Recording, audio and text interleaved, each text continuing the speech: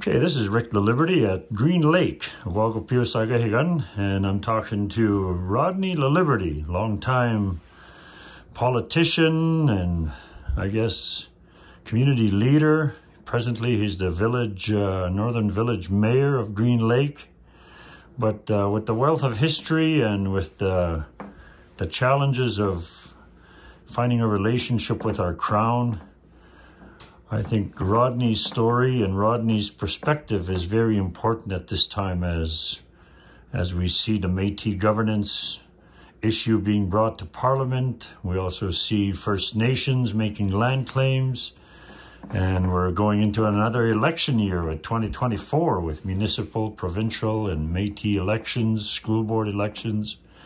So just from your perspective, Rodney, you've uh, you're a long-time resident, born and raised here in Green Lake, but the history of our families and the history of our, our North is embroiled in the challenges that you're facing, but you're also trying to correct this history and correct the story of our, our people that are uh, involved in this community of Green Lake. Has been the center of a major highway with the river systems of the past but uh, maybe just let us let us hear from your perspective what uh, what you'd like to share with us today, Rodney.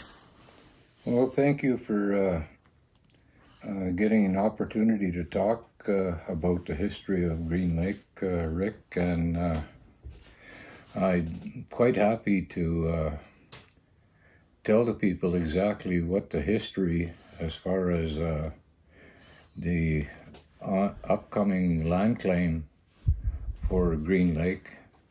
What that history involves, uh, along many years ago, uh, all of us, you know, from my generation and beyond, and those that followed, have often heard stories of uh, this is an Indian reserve, and it was repeated, repeated over and over again by different elders that have come and gone. And we have elders today that are, are still living who have uh, knowledge of the existence of a reserve here in Green Lake. And years and years and years I've pursued this uh, uh, knowledge of it being an Indian reserve. And found a lot of uh, roadblocks on the way. Uh, going back to the uh, 1980s, we uh, asked a law firm in Prince Albert to undertake this land claim. And he also said that uh, it was on a pro bono basis.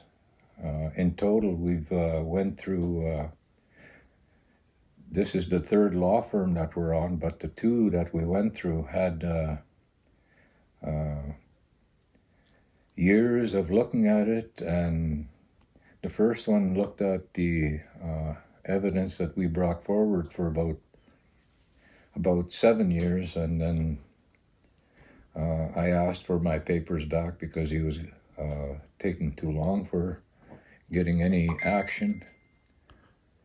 The second one, uh, out of Saskatoon,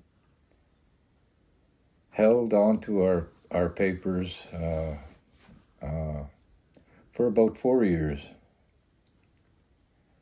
And just last year, uh, a law firm from Calgary contacted me and said they were interested in the in the Métis issue, and so I said, okay, uh, being being part of Métis most of my life, uh, I was uh, uh, identified as Métis, and most recently, in the past 20 years, I've identified myself as Cree. So that made a difference in my life, and uh, started looking in other areas. And uh, fortunately, there was an individual in Green Lake who uh, did some massive research on uh, a property that was transferred to his great grandfather in Green Lake in 1923.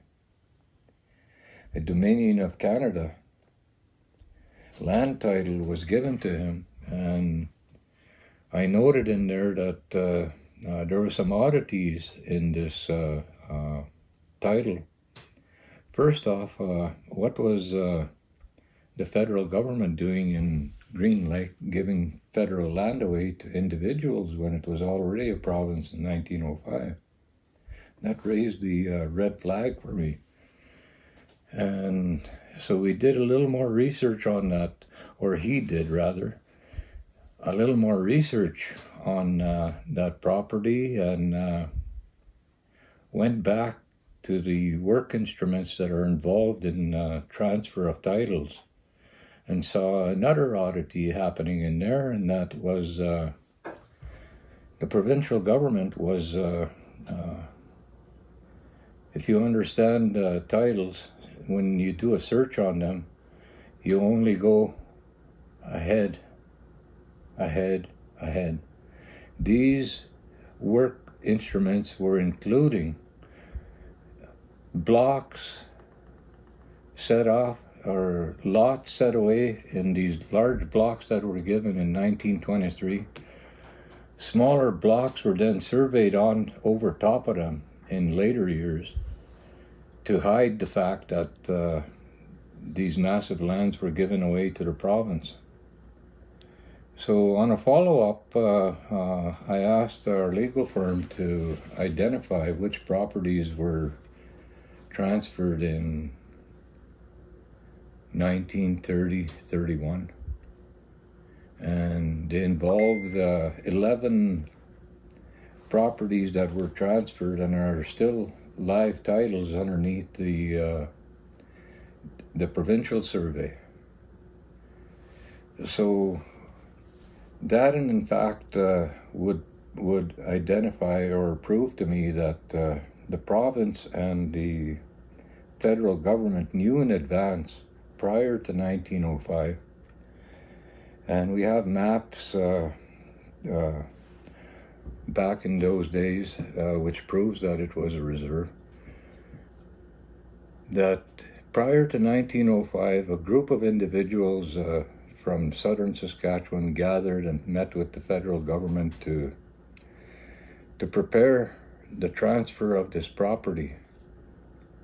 So in 1905 and prior, they knew that that this land was uh, was questionable to say to say the least. And to us, there was no question that was reserved land.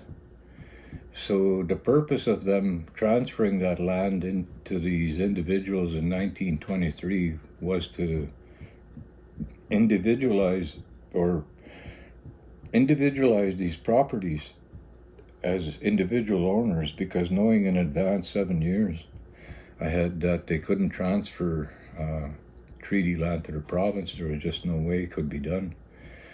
So, as an alternative, they uh, chose to do it this way to disguise the uh, fact that uh, there was reserved land underneath. It didn't work, however, because they still had to transfer all that property back in 1930. And it was, in fact, uh, reserved land.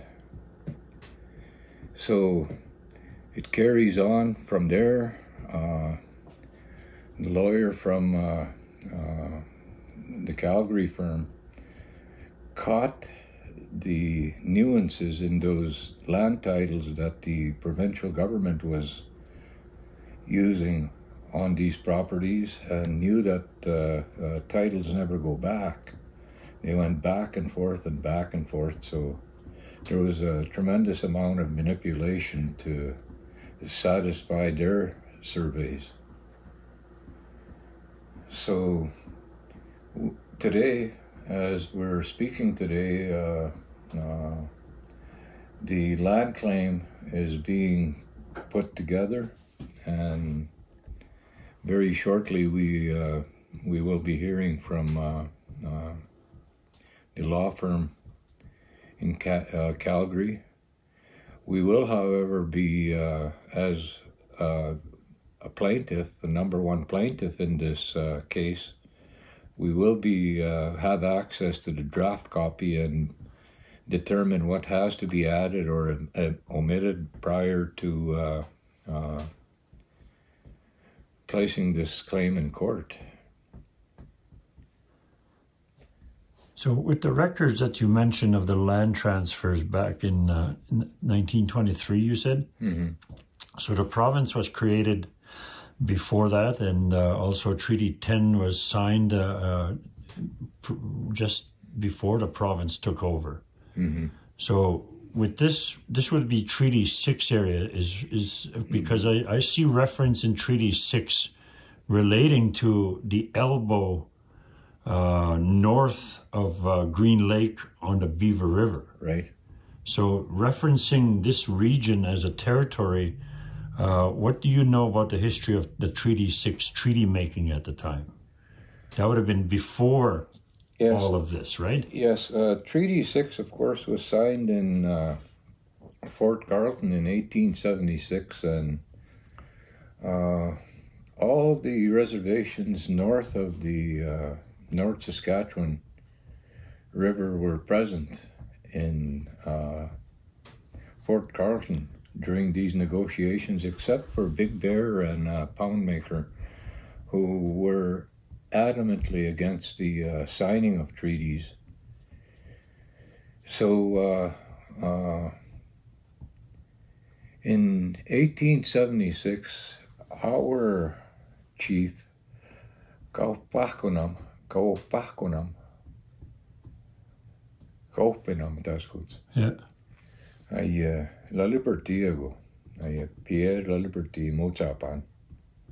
You go on a Magai, uh, the history for him has been uh, erased. Uh, they don't want to talk about him, eh?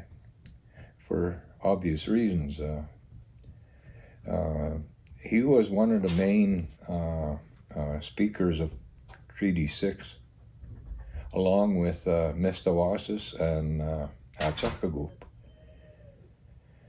Ahtahkakoop's uh, uh, Christian name was uh, John Belanger, and Mistawasis was, uh, pardon me, John Châtelain, rather. And Mistawasis was uh, Pierre Belanger. And of course, uh, my moshum was uh, uh, Pierre Laliberte. Uh, Mistawasis uh, uh, ended up in that reserve uh, with his travels because he was an employee of Hudson Bay. And he ended up in uh, Mistawasis and married one of the chief's uh, sisters or daughter, I forget. So he they selected him because of his ability to uh, speak French, uh, to be the spokesperson for uh, uh Mistawasis.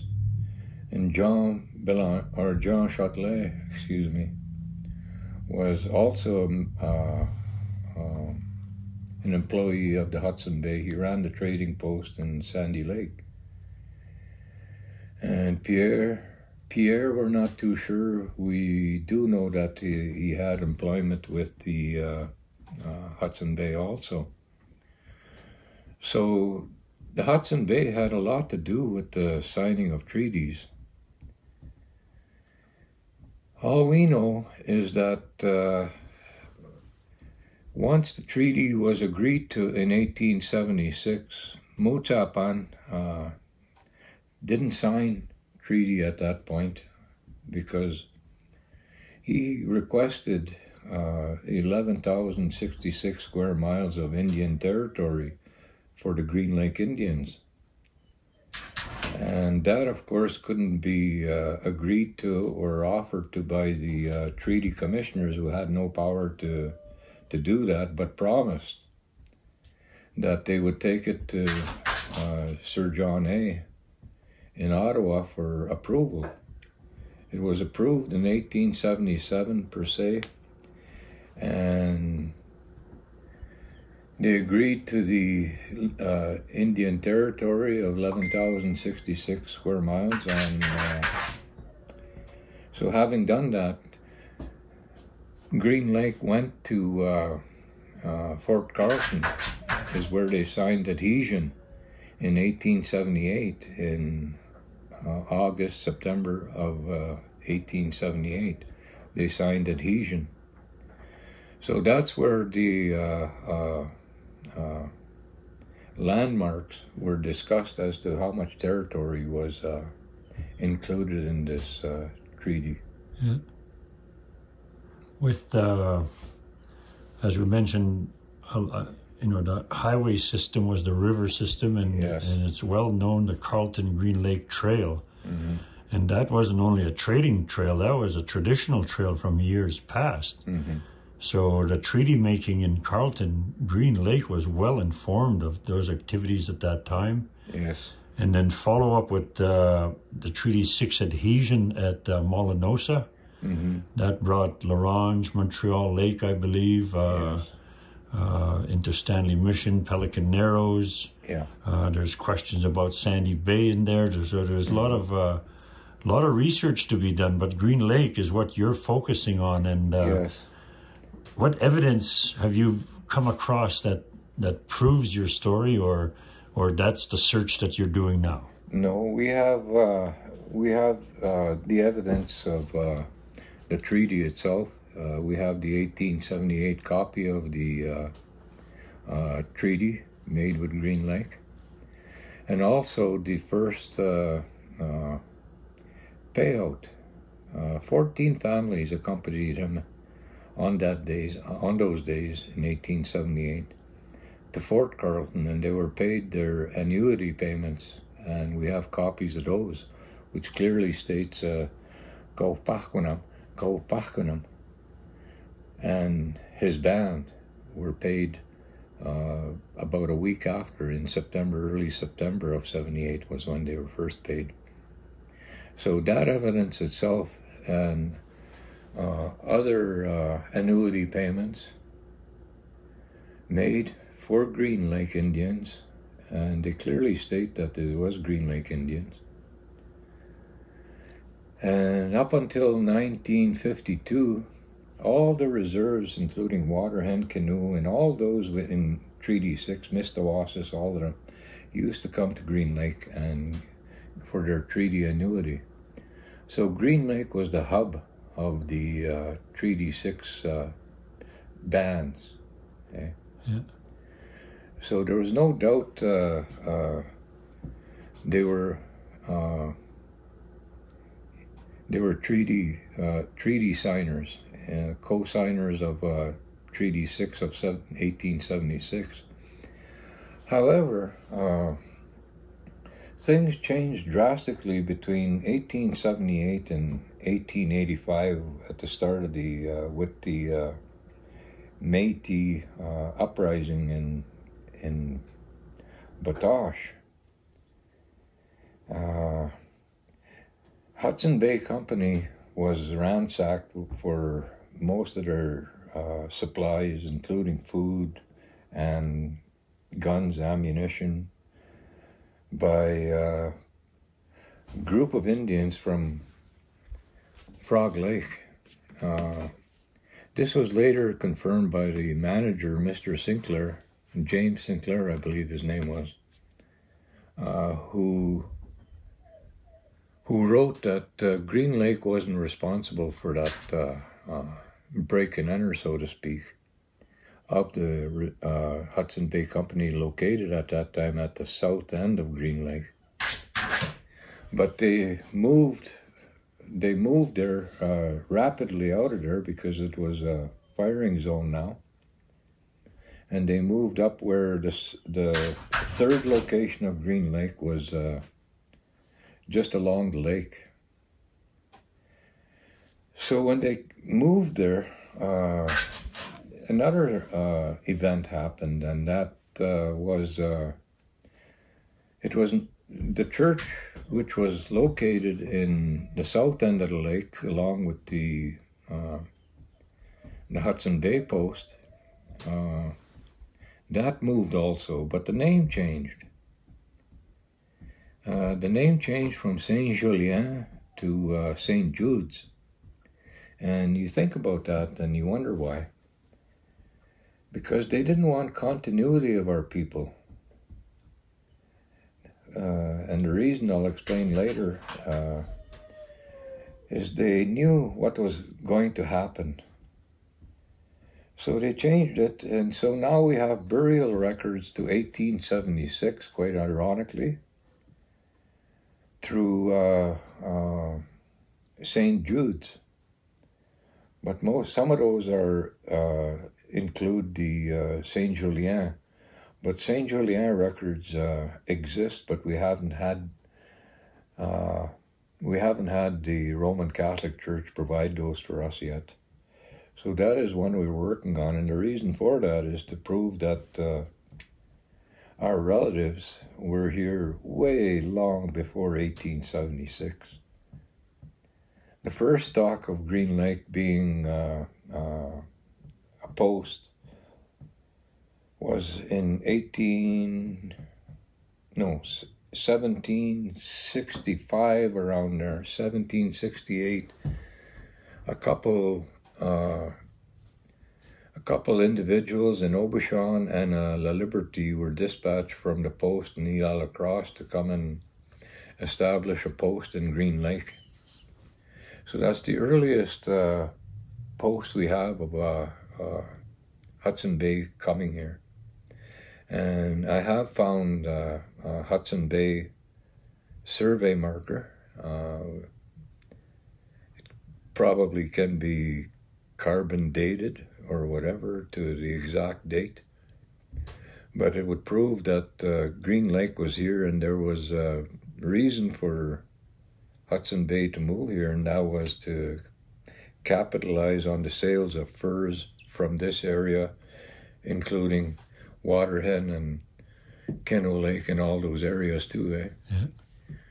Because of the water system, as you mentioned before, was uh, uh, their only source of travel. And they used to gather here, uh, all the reservations used to gather here and celebrate uh, uh, different seasons, different traditions. But it was always a, a, a history of the Cree Indians, and which is why uh, uh, a lot of the education that we received didn't include that. Uh, we were uh, we were given uh, other ways of uh, being taught and that was uh, being taught to hate our neighbors. And now I'm going back to my school days in the 60s. In my days, we were taught, uh, you know, to hate the Indians. That isn't who we are. And by golly, you know, years and years and years of that hammering into your head, you start to believe that, hey, you're not an Indian it doesn't take long because uh, I myself uh, had doubts of who I was at an early age. Not knowing and even having a different outlook at my my blood. Uh, they didn't belong with me. But why? Because it was hammered in my head that they weren't part of my system. Yeah. Okay? So when I talked uh, my language, which is the language I had when I first went to school, I knew little or very little English. My first language was Cree. So I struggled, I struggled for a few years, you know, catching on to that uh, foreign language to me, but also got punished for speaking my own. Uh, we'd get our ears turned inside out, our hair pulled. We'd get uh, rulers that were three feet long and beaten with those and called savage and Lucifer and well, I didn't want to be like uh, I didn't want to be like that anymore. So uh, it reflected on a lot of my life after that.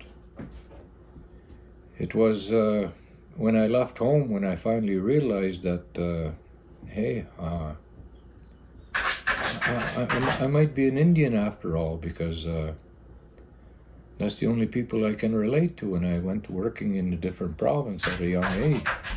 I left home when I was 16, and the people you associated with were Indians like us, Indians displaced from uh, uh, different parts of Alberta, and they were called Métis too, when in fact they were uh, they were also lost treaty Indians, so to speak, stolen, stolen treaties. But we did manage to speak our language, and which resulted in me keeping it over the years. And I thank the Creator for allowing me my language at least. And maybe you just the nihio tottaminuma anuspuga piksquattamak. That's good uh ki o mo ta ni hio gen stam pa di mas pe ni mas kam akuma ta scheme no our rights, our status. Uh, mä tiedän niihin jo aita täpsis. Mä tiedän tämän sikäis niihin jo jatsomoon. Tämä on semmoista oli toivon, vaan tämän sikin takkaan kahti tihtä minun. Well, hikipi muhtiko mutta mä roja, kun muuta taskinu. Ai, äh, ai, äh. kai se piksku jahki, mutta mä ruunu. Kai saa jamhaa jahki, mutta mä ruunu. Iwa no makagia ya ke muta magono. Ai itu ia ia mina ai ai aski mina tatuanehta no. Ai kiwe mina kahkio kiwe mina mito sak maagitus pi mana negi va. Sus vaats kahkio pigi mõttetsek. Mõe vakka ei, ei, no kiitu ani vanno, väga hea Iwanan magagipitahkamigis chicken maye, utan mai. Ipi kue sasta chicken maye, gumotomuna, gumotomuna. Ai, tas pi megi chiku tae, ai, itnu aku tae. Ta tahtin nane, so. Family isu tae. Igi mea chikaski, agi magi koe end date. I, forever and ever gi miatsugu ge 1923. Aga ikskita koon ka, eh, kemo somnan, et muistejuht sai mis tsigivagi kuspi. Muistejuht siin tohta magu magu ma snega no nagu, he. Eh. So ma sna mak ma gitu kui eh, ma ega gi ai kagi mingi tsugu mak taski no ka, kes tu kõma aga aru ootse. Uut tõhkitse Regina ai eh, kia te eh, kata kata moe ak skifta skifta mogi ga ai eh, ai we hat so ye taxes kat pa ko eh? Ma ga kia ta go na ha mogi ga ko ta ga ga surveys o sita ok ta ko tsa e we va o tu we tapasis. So i go ne ga ga ai sus ka ke motto ni ago Aí, muehuaknagi siunin atsamon iwan magagi tahkamaga. Aí, que piques kuno pige motsek taskino, sus kaga kiogiwe. Aí, iwapahtin aí. Mas neigana, gimas naamu atawa ee kihtsuuge maua, kihtsuumuni auge maua kaitehtaja, Sir John, ei. Gi mas na mo atu i tiu aga na ministers o ga gita me Privy Council in 1885 86 i mas na mo i gumi na i mas neigan danan ai i witamo atu hae kahkioan he gatuska ko te puka o kaut na makan maski. Ai kai mi aia hiku ke carqueiro gai puka utna markau. Soloje yksi tässä vaatis, eikö se yksi vai yksi maatsi takan, eikö se kai maatsi muiga pi pina naga toki aku ti ni hioak pun pun piks parti oviva. Ivani ku tohtse. Magi jo. Hivuma e gisihke miste kana e ugama ohtse ai uh, prime minister. Igi sihke miste kaut nachwa.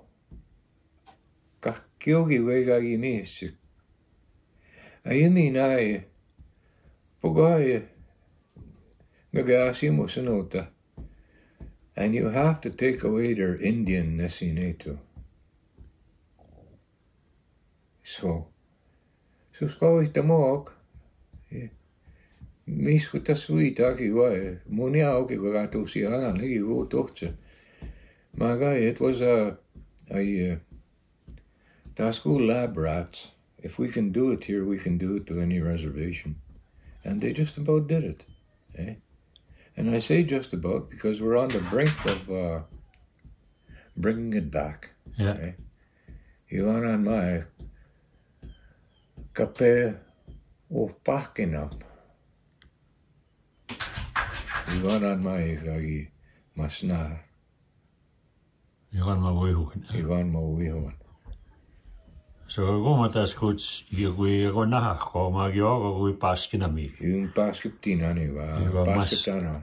Yo ga paskina mi wa ki gyu me ko tas ko the United Nations Indigenous Rights ko esi wa stona tugati wa. Yeah. So tarahka noh peatas hut the perfect time oma ta paske negati ko istasti gati ja mis ta enne naske mõnu ma ei magi kui nii ei ei ei ngaskitaan ko kapasihtamaan kakkuyuppena mahkuma ujoga ei Ehkä mä sumnaan niinku kai, ei piuppina maa kuakin.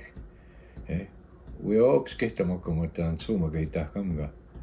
Soatni anuma tekske tamago mae puga kyogi we kama mau mau sagunama. Kawa pahtaha kiku we tnu aktan tsuma igi pisigi motte kumae. Ai askiuma. Som stehenna naska mone igonek kimo somnanek. Kitsukohtauino. Vapahtamo mae omagagi pitahkamga ega mis seetõttu, et nii mina nagu ma ei suuska atuma, itse ma kistega, noh, sigu ei vaagi kui katet maksu, kispen, kispen iga, kispen tapuita, pehku otsegu, ma kõige mõttegu maski. no aga muidugi kas kihta, ta nende abihtinu ma ei, et nii ka no ma võivad. kah keo ja ka pihta, ei, käänne looma ka pihta, ka pihta on käänne Igual, mssuiti minowasa gamo maski. Kahkio ja kapihtamak. Igual, Jawai Trudeau tuumakan no arva. Ei ma näe, kui e USA teatud on näe, ei. Kuitenkin no, kun tipi tosi, ka, ka viitsek. I no to no to ai human rights ana mai Tene ma ne wita puito mai sus gai mai nigi chike ga ta sku China o ma ne me che to ma ne ia mo ma ti go na human rights violations. Maga wista o go tai ai uh, ki mata ka mixuak ai uh, ta sku uh, ai ai pure genocide umuta ga pita ka magistik. Pieters, Pieters taap maatse kun waaien. Kwa kun magan nanig. Igain dawi maatsik en heel ietsik, igain dawi maatsik as gigai aatsik. Iga gigai sus paga kio gigai pim manat manan wi pina ko muuta. Iga mis tööti ka ja noh tuma ei tšamaagis suak. ei maskihki ja matšamaskihki ja tepingok, nekoj un tepingok. E o sal agemo tsek mesui, mesui, mesui. I kaigo ei koki mitso tsegu ikitso asim sinanek. Sus katsomain päik tsemaks jah kumu tai. Kitet nimna negu ma kätan sumaise pamihe koja. Suja ku. Nad vapahti nii vae kaupõttamahju andma wapa tini goi kau pipta maki wan ma. Kai kau ita haya kiki wako ka kita ko win o ma we o. Yes, this is uh, a very significant time in our history, I guess, to, to teach our children, our grandchildren, of of the wrongs that have been done in the past. Mm. And uh, your, I guess, conviction to correct this wrong, Rodney, it's very admirable. Uh, You're a community leader. You have you have seen the, the challenges, even just the economy of Green Lake. We you know we used to have a sawmill here. We used to have employment here. Yeah. and now you, we just see uh, uh, the South just taking, you know, it's it's, it's like a, a whole different level of colonialism. It's it's uh, people making decisions. The province is making decisions on on uh, education, making decisions on municipal services. Um, I guess, you know, I thank you for sharing this this story. I hadn't heard the the Green Lake uh, story of the you know an, an Indian band actually being here, but the evidence of me reading treaty and seeing uh, you know Green Lake being referenced, Yeah. But it's you know like it was hidden. Somebody was hiding something, and uh, and you, you you know well you know with different communities being impacted that way. It was a big land grab for the Métis scrip. Uh, you know, all in that time there was Yeah. uh, people taking land. So today, when I look at our community of Beauval, uh, where I'm from, Green Lake, there's no Métis land. À la Crosse, it's Yeah. not Métis land. Buffalo, Meadow Lake, nothing. There's no. They're talking about Métis lands in in in Batoche, but it's those are heritage lands. Those are you know war Yeah. war history lands. You know, Yeah, it's, but yeah. for us to, to live as traditional lands, there's not one postage stamp anywhere. So No. so I commend you for your work. Uh, I know in in treaty there's Métis that have signed adhesion, Mm-hmm. but in this case it, it sounds like they were taking people off treaty. And Yeah. It was a totally opposite. It wasn't bringing. And treaty making was, a, you know, making a country. Yeah. It's the foundation of our country. So Yeah. you're correcting the foundation of our country. I think it's very admirable. But is there anything else that you you'd like to share with us at this time? Uh, I know well, this story is continuing because it's it's a legal case that's being prepared. Yes. And if you have any updates, definitely give us a call. But is there anything at this time that we may have missed that we need to know? Well, I think uh, uh, you understand that uh, uh, a lot of this history was uh, held back from our people. So, as a result of that, we see the importance after the uh, launching of our uh, land claim, and we will be uh, providing a comprehensive educational portion to go around all over to every Indian community, Indian places that request that they want to have more information. But we will be posting uh, information and uh, uh, uh, probably some some film uh, interviews throughout all of this after the land claim is uh, filed. So the information process to us is very, very important that we get this knowledge of uh, exactly what happened and just exactly who is entitled to uh, uh, uh, be reinstated in Green Lake. Thank you, uh, Rodney. It's been a pleasure talking to you on this very important issue for our communities. It's going to impact many families. And uh, again, this is Rick Laliberte at Green Lake Mayor Rodney Laliberte at Treaty 10 News. Thank you, Rick.